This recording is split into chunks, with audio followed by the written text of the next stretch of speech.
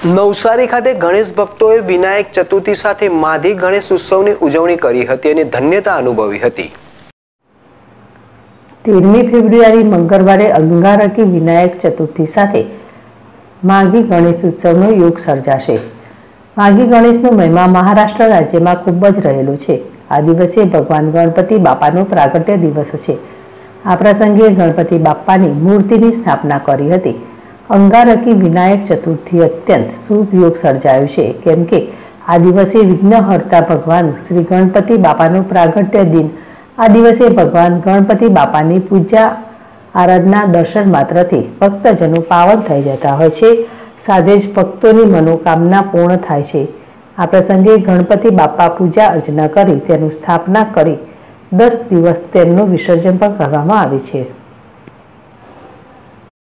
અલ્પેશ કશ્યપ જેડેશ ટીવી નવસારી.